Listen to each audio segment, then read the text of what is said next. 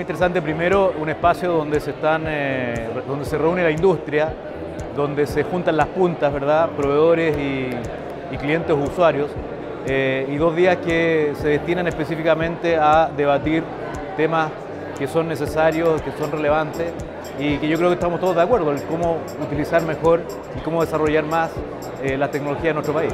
Hasta ahora muy bien, mucha gente, de hecho me parece fantástico que, que el marco de público, ya siendo el final de la tarde, el primer día, eh, hay mucha gente y, y mucho interés también.